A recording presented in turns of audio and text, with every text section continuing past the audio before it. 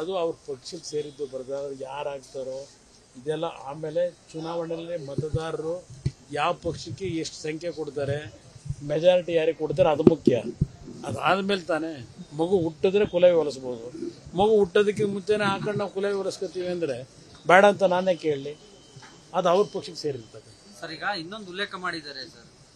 ಶಾಸಕಾಂಗ ಸ- ಶಾಸಕಾಂಗ ಸಭೆನೇ ಸಿಎಂ ನ ಆಯ್ಕೆ ಮಾಡೋದು ಹೈಕಮಾಂಡ್ ಅಲ್ಲ ಅಂತ ಅದು ಸಿದ್ದರಾಮಯ್ಯ ಅವರ ಪಕ್ಷಕ್ಕೆ ಸೇರಿರೋದು.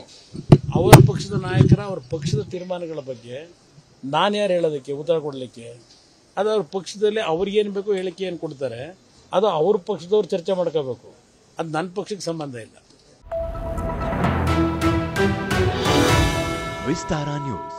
ನಿಖರ ಜನಪರ.